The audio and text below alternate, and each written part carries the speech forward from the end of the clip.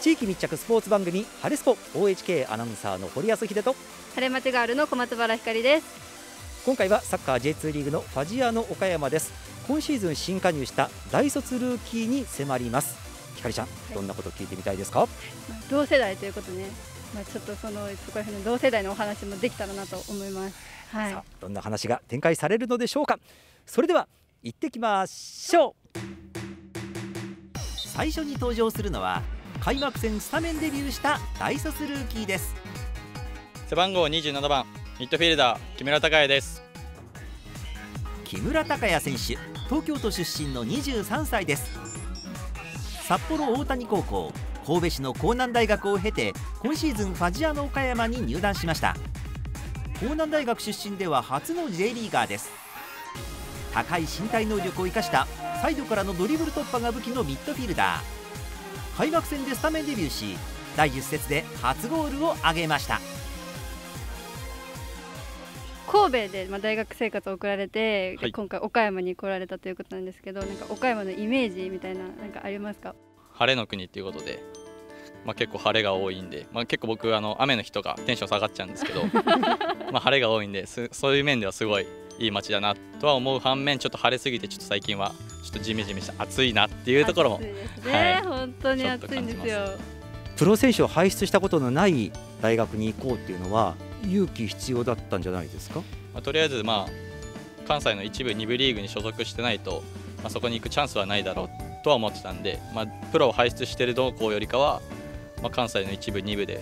やってるようなチームで、まあ、自分の学力考えてっていうところで進学しました勉強の方もちゃんとして。そうですね、まあ、親が結構厳しかった部分も あったんで、まあ、あとはスポーツ推薦がまあ全部落ちちゃったんで、まあ、学力でいくしかなかった部分もあるんで。じゃあ一般入試？一般ではないんですけども、まあ、公募推薦みたいな形で勉強と面接と小論文っていう形で入りました。大学時代は関西の学生リーグの2部から1部へ。1年生の時が2部で2年生が1部に上がってまた落ちて3年生2部で最後は1部リーグっていう感じですね。こう強いチームじゃないからこそこう人間的にも成長できる部分が、まあ、たくさんあったなっていう大学4年間ではありました。プロに、えー、入るというね、まあ、そのきっかけのところちょっとお聞きしたいんですけれども、はい、まあ大学3年時の時に、まあ、今江南大学で監督をやられてる柳川正樹さんっていう監督が、まあ、来られてからプロでの経験とかをこう、まあ、身近にこう僕自身も知ることが、ま、できて、まあ、その中でまあ3年生の時の、ま、個人成績がすごい、ま、結構良くて、ま、この感じでいけば狙えるんじゃないかっていうところで4年生に上がったんですけども、ま、ちょっとコロナで、ま、リーグ戦がなくなったりしてしまって、まあ、その時にまあプレー集とか、ま、監督に言われて作って、まあ、各クラブとかにこう送ってもらったりとかして、まあ、興味を持ってもらってそこからま試合を見てもらい、まあ、アピールして勝ち取ったっていう感じだと思います。私だったら結構人見知りなんで、はい、なんか結構、まあ、大人数じゃないですかチームってなると。そこにこうポッて1人で入るのが結構怖いタイプ。しかも大学の先輩もいないわけじゃないですかどこにも。まあ、そうですねはい。そういう中でどうやってチームに溶け込んでいったんですか、まあ、一つはやっぱり、まあ、サッカーという競技があるんでまあ、自分のそのプレースタイルとかをこう表現してこうやっぱ先輩にこう目つけてもらうってこともまあ一つだと思うんで。ファジアードに入った時もまずはじゃあピッチで自分のプレーを見てもらってそこからっていう感じだったんですか？まあどっちかといえばそうかなとは思いますね。まあ自分のプレースタイル的にこう何事にもこう全力で取り組むっていうところがまあ自分の中であるんで全力でこうやってる選手に対してこ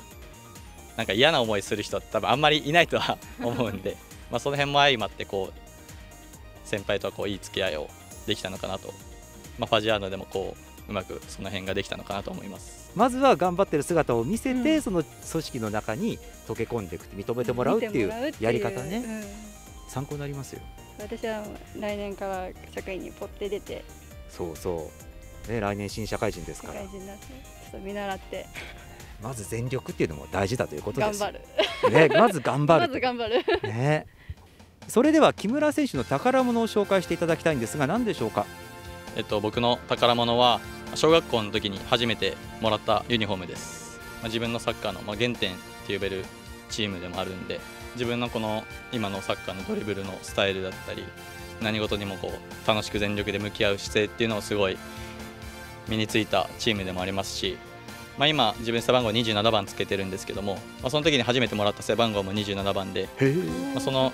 まあ、初心に立ち返るっていう意味でプロのスタートは絶対27番がいいっていうふうに決めてたんで。27っていう数字にすごく思い入れがあるんですね。そうですねはい。だからゴールパフォーマンスが27だったり。ちらっとねちょっとじゃあ最後に意気込みをお願いします。はい。個人的にシーズン初めに立てた得点とアシスト合わせて2桁っていう目標に、まあ、まだまだ足りてないんですけども、まあ、試合数もまだ残ってますし、まあ、それを達成できるように個人的にまずチームの勝利に貢献できるように頑張ってまあ、その中で、まあ、チームの順位を一つでも上に上げれるように、えー、全力でプレーしていきたいなと思います。ありがとうございました。ありがとうございました。続いて登場するのはデビュー戦でいきなりゴールを挙げたこのルーキー。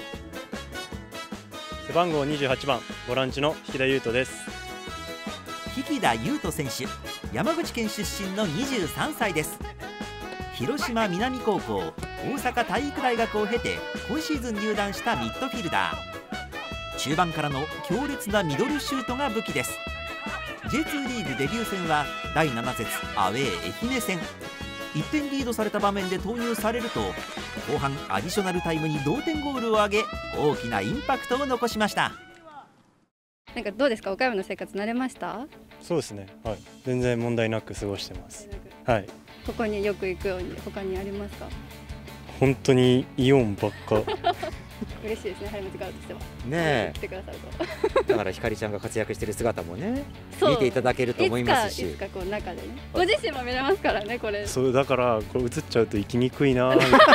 かなり大画面で映りますからね。そそれがちょっと恥ずかしい。ちょっと行って、俺映ってる人がいるみたいになるのが。チームの雰囲気としてはどうですか？いやもうすごい入った時からやりやすくて、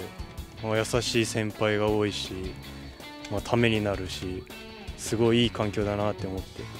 なんかこう大学生から社会に出たこの感じどうですか、はい、私まだ、まあ、1個年齢は上ではあるんですけど私はまだ大学生なんでこうまだ社会に出出てないというか社会これからですもんねまさに。まだ学生っていうのがあるんですけど。なんかサッカーやってるんで、まあ、その延長線上みたいな今のところそんな感じですけど。まあでもやっぱ学生とはちょっと厳しさもあったりするんで。まあ、そこは違うとこかなと思いながら。学生とプロの違いって言ったらお給料があることじゃないですか、まあ、そこは全然違うところで、まあ、だから自分でプレーしてちゃんと稼いでるっていう責任感もありますし。最初にこうお金が振り込まれた時、はい、どんな感じでした？すごい嬉しかったですけど金額見て、まあ、バイトとはまた違うなるほど。金額で、はい、まあそれはあの、多くの社会人が思うことですね、ね、まあ、これが働くってことかっていうのは確認できました、ね、何かご家族にとかあの、ね、なんかしたんですか？親に物のプレゼントと、まあ、焼肉をおごったんですけど。高校息子。親孝行ですね、まあシンプルな感じですけど、まあ、でもそれやってみました。嬉しいですよね、まあ物じゃないかもしれませんしねで何あげたんですかちなみに。なんかまあ、それもイオンに探しに行ったんですけど。もう全部イオンで調達。まあ店員さんにお勧めしてもらってあのタンブラー。をお揃いのタンブラーを買って。あの優しさもあってしかもあの、やっぱりプロとしてのこう度胸もあって、いきなりデビュー戦でゴールも決めたりはい、ありがとうございます。そういうこうここぞっていうところをなんか決めるあるんでしょうかねそういうモチベーションとか。まあどまあ、大学の時もそのデビュー戦でゴール決めてて、まあ、イメージがあったんで、まあ、その持ってるか、まあ、周りからは持ってるって言われるんですけど、まあ、なんていうんですかね自分のメンタル的には普通というかあんまり緊張とかもせずに平常心でいようと思いますけどそういうのがあるのでここ来た時もいいイメージ持ったまま入れたので。まあ、逆にそれがいいのか。変なイメージは持たずそれが良かったのかなと思います。それでは引田選手に宝物を紹介していただきます。何でしょうか？とこれは、えー、初出場初ゴール決めた時のスパイクです。例の、はい、結構綺麗なんですね。いやあの